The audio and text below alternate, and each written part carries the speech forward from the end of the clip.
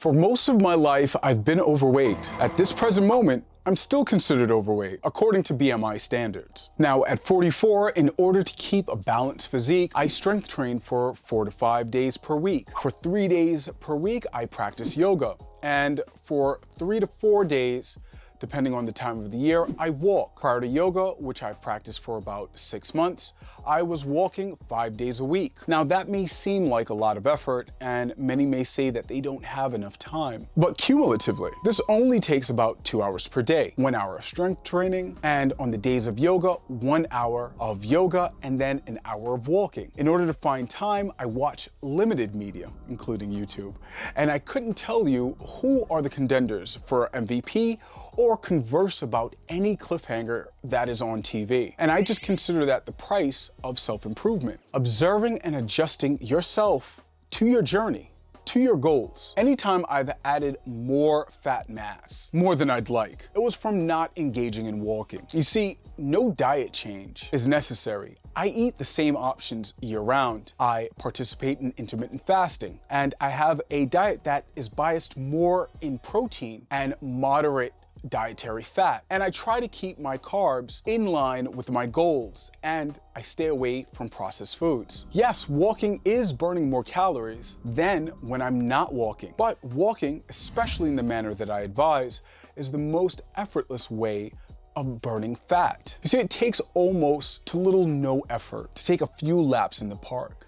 And if you're lucky enough, the trail may take longer than an hour to complete, averting boredom you won't even notice until you're finished. In comparison to high intensity interval training, jogging, sprinting, and jump rope, the recovery is much easier when you're walking, and I retain more of my muscle mass. Outside of sprinting, I don't feel that there are any more muscle mass benefits than walking. For most people who are struggling to get their body in balance, this is the most accessible way. I believe a combination of resistance training and walking to be the best combination.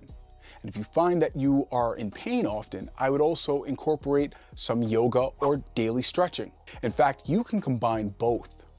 During a walk, at every 8 to 10 minute mark, you can engage in push-ups. And if you find push-ups too difficult, then use a bench as elevation or if that's too hard, try a wall. Run again for eight minutes, and at the next interval, perform squats. And if that's too easy, incorporate a resistance band or practice a box squat variation onto a bench. And what you'll find is that as you go along, the next interval, you can incorporate different exercises. The options are absolutely endless. I recommend walking for a minimum of 20 minutes. I find the resistance to the activity subsides after that 20 minute mark. Once I pass that 20 minutes, it's as if the negative voice in my head gives up on dissuading me from continuing in my effort. Understand that this isn't the fastest way to burn fat. It would take 125 minutes of leisurely walking to burn 450 calories. But you don't need a gym membership, nor special clothes, or equipment.